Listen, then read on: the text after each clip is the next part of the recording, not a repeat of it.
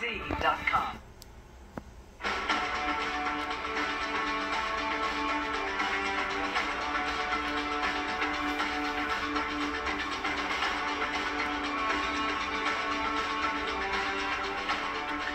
is a CBS News special report. I'm Norah O'Donnell in Washington. Tonight, we will witness history. It's been more than 50 years since a sitting president decided not to seek a second term. President Biden in the Oval Office right now will explain why he quit the presidential race.